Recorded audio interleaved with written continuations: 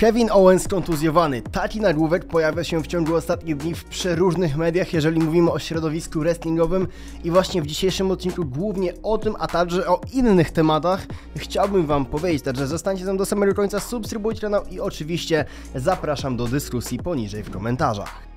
Zacznijmy więc może od tego, co jest myślę najbardziej pożądaną informacją właśnie w tym momencie, czyli kontuzja Kevina Owensa. Jak się okazuje, mistrz Tag Team jest obecnie faktycznie kontuzjowany i nawet potwierdzi to sam Dave Meltzer, mówiąc dokładnie o tym, że Kevin Owens zmaga się z kontuzją złamanych żeber i to nie jest kontuzja bieżąca, a trwa ona od kilku już tygodni. Ponoć ból cały czas narastał i narósł aż do takiego stopnia, że Kevin Owens musiał być oszczędzony na ostatnim odcinku Monday Night Raw, a cały czas zakulisowo mówiło się o tym, że w pewnym momencie Kevin Owens po prostu będzie musiał dostać kilka dni wolnego, aby udać się na leczenie, aby oczywiście zaleczyć złamane żebra, po czym będzie też musiał wziąć kilka tygodni wolnego od występów w WWE. Z nieoficjalnych informacji wynika na to, że właśnie teraz nadszedł ten moment, właśnie teraz Kevin Owens będzie pauzował, nie wiadomo jak długo i jego występ na SummerSlam stoi pod znakiem zapytania, a jeśli mówimy o jego występie na SummerSlam, to równie za nim idzie występ samego Zenia, także mistrzów tartimowych prawdopodobnie na SummerSlam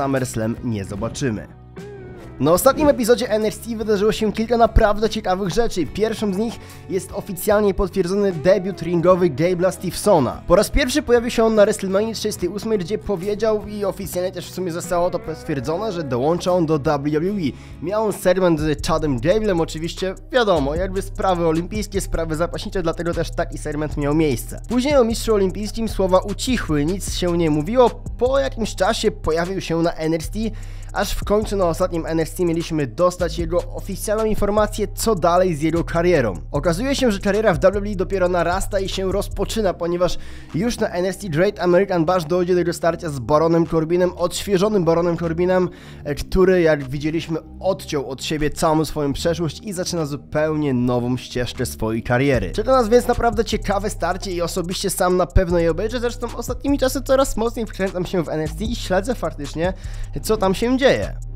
I mówiąc o ciekawych rzeczach na NRT nie miałem tylko i wyłącznie tego segmentu, ponieważ dostaliśmy również segment Dominika Mysterio, nowego mistrza North American, który skonfrontował się z Mustafą Ali, który też dołączył do NXT oraz Wesem Lee. Zestawienie tej trójki w ringu NXT świadczyło nam o przyszłej walce pomiędzy właśnie tymi zawodnikami, czyli Triple Threat Match o mistrzostwo North American na NXT Great American Bash. I to również jest naprawdę ciekawy pojedynek, który też z chęcią obejrzę.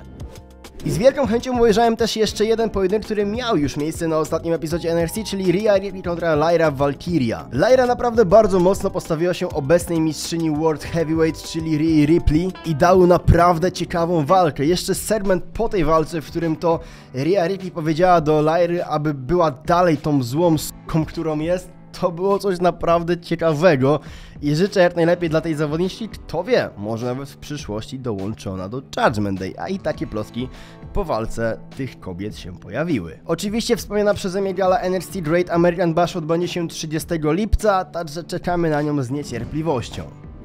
Wiele osób na pewno czeka też na informacje odnośnie Imperium, a dokładniej Giovanni Vinciego, który wśród wielu osób mówiło się o tym, że został odsunięty od Imperium i sam Gunther odniósł się właśnie do tego. W jednym z wywiadów Gunther powiedział, że obecność Giovanni Vinciego stoi pod znakiem zapytania, jeżeli mówimy o Imperium. Natomiast Gunther został zapytany też o dołączenie pewnej kobiety do Imperium i powiedział wprost, że nie widzi potrzeby na coś takiego, ale gdyby miało się to stać, to widziałby w tej roli Io Sky albo Charlotte Flair i to też jest ciekawy pik.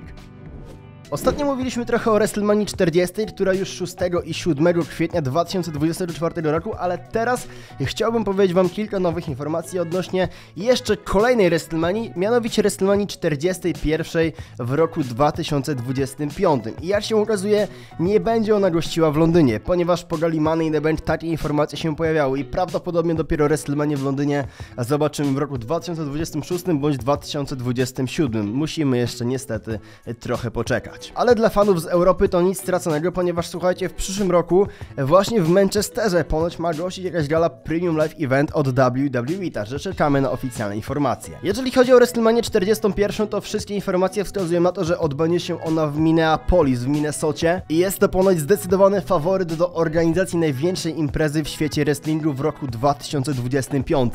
US Bank Stadium, czyli nowy obiekt właśnie w Minneapolis ma być tym miejscem, gdzie odbędzie się WrestleMania 41. Jest on w stanie pomieścić 76 tysięcy osób na stałych miejscach, ale wliczając to jeszcze oczywiście płytę i trzesełka, zdecydowanie więcej zmieści się tam osób, także nawet i blisko 90 tysięcy. Nie jest to jeszcze oficjalnie nic potwierdzonego, aczkolwiek myślę, że jest to kwestia dni bądź kilkunastu dni i taka informacja pojawi się w internecie od WWE.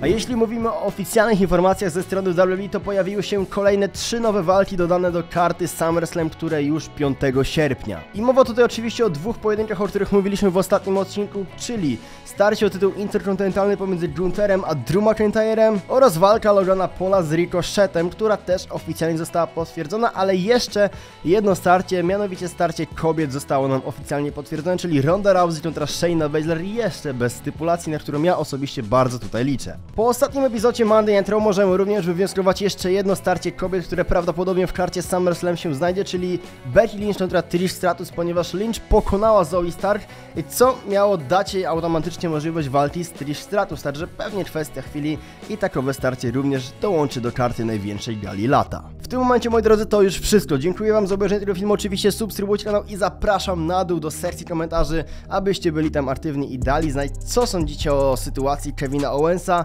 oraz o debiucie Gabe'a Stevensona, a także o walkach, które czekają nas na SummerSlam czy NXT Great American Bash. Zostawcie coś po sobie, widzimy się w sekcji komentarzy i zostawcie polubienie, by film zyskał jak największy zasięg. Trzymajcie się, do usłyszenia wkrótce i cześć!